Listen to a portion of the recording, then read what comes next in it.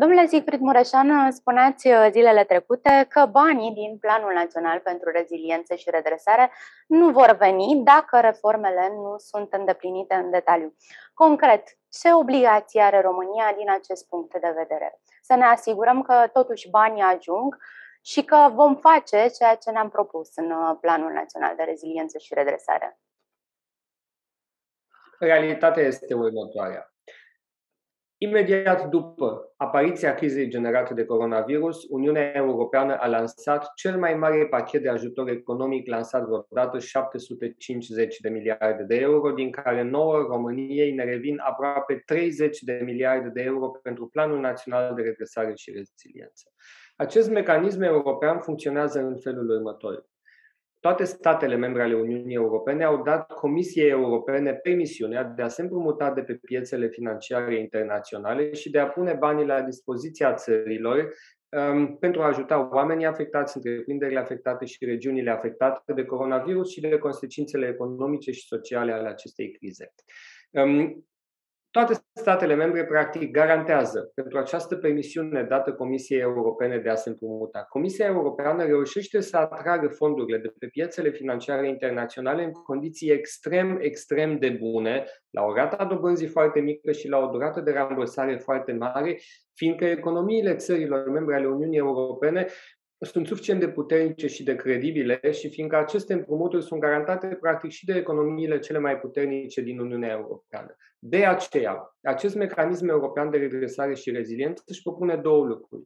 Unul la mână, să ajutăm oamenii afectați, întreprinderile afectate, regiunile afectate de coronavirus, redresare, recuperare și doi, reziliență. Să ne întărim astfel încât niciodată în viitor um, o astfel de criză să nu ne mai poată prinde nepregătiți și să nu ne mai poată lovi cum ne-a lovit această criză. Modernizarea educației, digitalizarea, am văzut cu toții în ultimul an cât este de necesară, doi la mână modernizarea sistemului medical, uh, extinderea și modernizarea unor spitale existente și construcția de noi spitale, reformarea, modernizarea, digitalizarea administrației publice și întărirea economiei. Economia să fie mai competitivă, mai puternică um, pentru a atrage investiții și a crea locuri de muncă. De aceea, proiecte de infrastructură, de exemplu, sunt eligibile și se finanțează din acest mecanism european de redresare și reziliență. Ei, și pentru a deveni mai puternici în viitor, pentru a nu mai fi loviți de o astfel de criză și pentru ca economiile să rămână credibile, este nevoie și de reforme. Și de aceea, Până acum, la vechile fonduri europene era foarte simplu. Făceai lucrarea, o prezentai la final la decontare cu toată documentația și aveai decontată lucrarea, fie că era un pod, fie că era o reabilitare de drum. Acum, la acest mecanism european de redresare și reziliență, lucrurile stau altfel.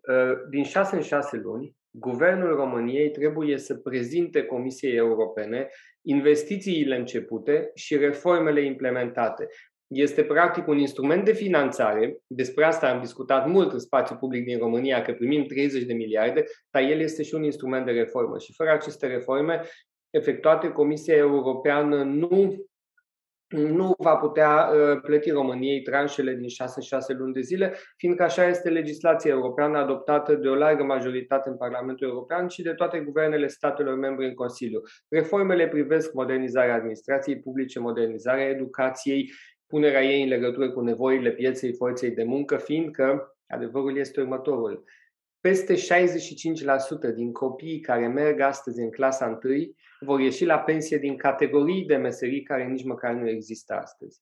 În următorii ani se vor inventa multe, vor apărea multe noi categorii de meserii. Multe meserii pe care le-am cunoscut până acum vor dispărea și multe se vor transforma profund. Iată și modul în care noi dialogăm acum de la București la Strasburg online. Este un mod în care poate nu ne-am fi gândit să comunicăm cu oamenii în urmă cu câțiva ani de zile, poate nici măcar înaintea pandemiei. Jurnalismul, presa se face astăzi altfel decât în urmă cu 10 ani. Multe meserii se vor schimba. Deci reforma educației, reforma sănătății, administrației publice, sunt reforme mm, pe care Guvernul României va trebui să le implementeze.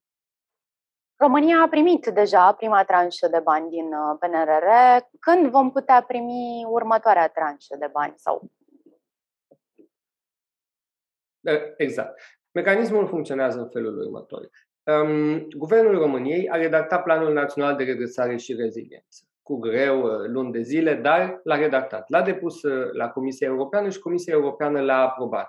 Lucru foarte important. Planul României corespunde tuturor, tuturor exigențelor legislației europene. După aceea, după aprobarea la nivel european, foarte important a fost aprobarea în Comisie și Consiliul de Ministri a certificat planul României și a primit aviz pozitiv.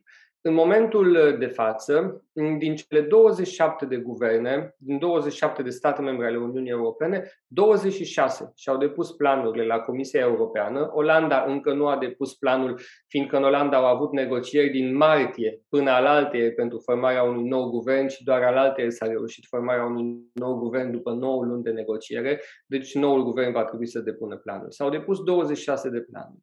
22 sunt deja aprobate, mai trebuie aprobate planurile Suediei și Bulgariei, care sunt în curs de aprobare unde nu există probleme, și ale Poloniei și Ungariei cu care există probleme, fiindcă acolo există atacuri la adresa statului de drept. Mm, și um, avem în vigoare o condiționalitate foarte clară de acum din anul 2021 pentru fondurile tradiționale ale Uniunii Europene și pentru acest mecanism de reziliență, o condiționalitate care spune nu poți primi bani europeni dacă nu respecti valori europene, o condiționare a fondurilor europene de statul de drept. Statul de drept este periclitat în Ungaria și Polonia, de aceea aceste două planuri încă nu sunt aprobate. Ei, 22 de țări, printre care și noi, România, avem planul aprobat și am primit deja prefinanțarea. Inițial, Comisia Europeană propusese o prefinanțare de 10%.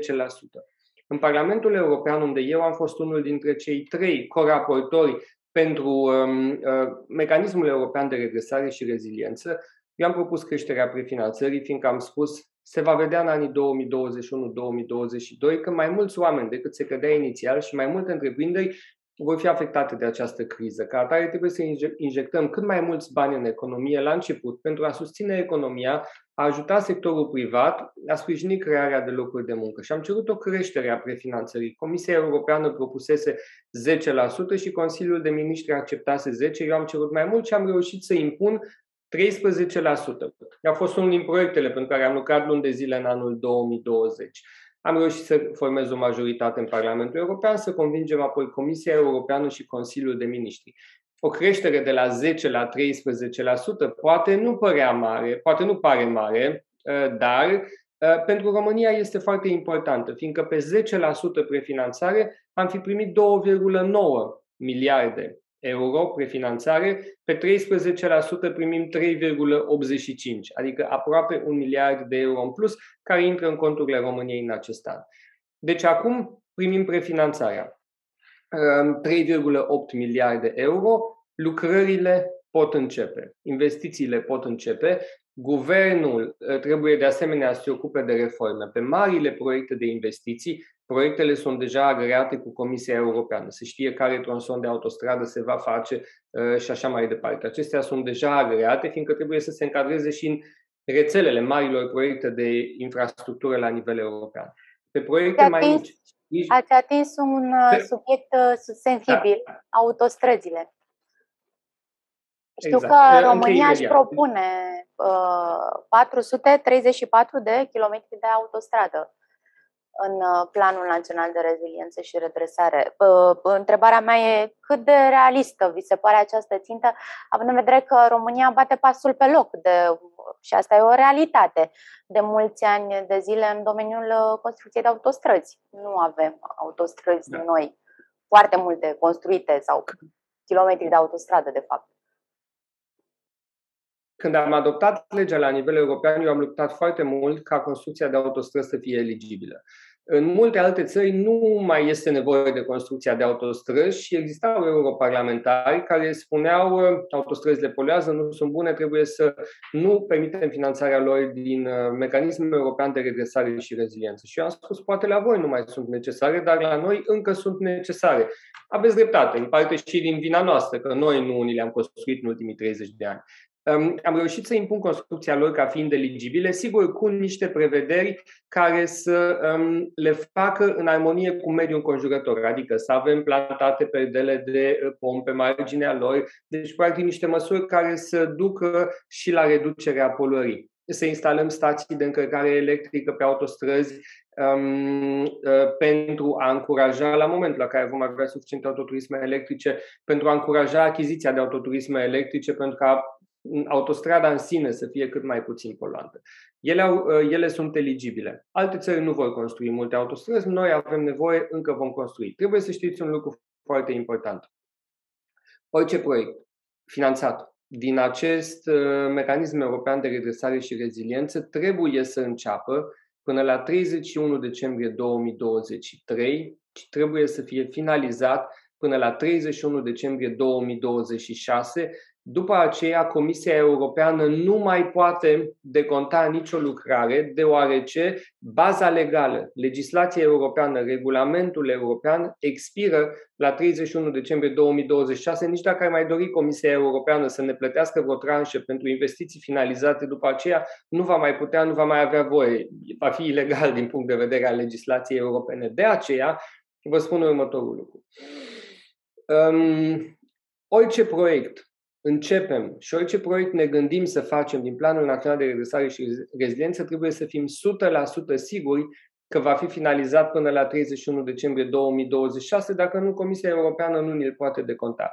De aceea eu am încurajat, am luptat pentru ca construcția de autostrăzi să fie eligibilă, dar am încurajat Guvernul României să introducă în acest plan doar autostrăzi despre care știu sigur că uh, pot fi finalizate în patru ani de zile. Și de aceea autostrăzile introduse aici sunt autostrăzi pe care deja există documentație, există studii, studiile de fezabilitate efectuate și așa mai departe, și autostrăzi care din punct de vedere al construcției sunt simple. Autostrăzi în zona de câmpie, autostrada A7 spre Moldova, de exemplu, uh, Ploiești, um, Focșani, părțile de câmpie, părțile simple unde, dacă există voință politică, dacă există și coordonare la nivelul guvernului și al autorităților statului, din punct de vedere tehnic și din punct de vedere al proiectelor, al maturității proiectelor, pot fi finalizate uh, până, la, până uh, pe 31 decembrie 2026. Asta prevede legea europeană.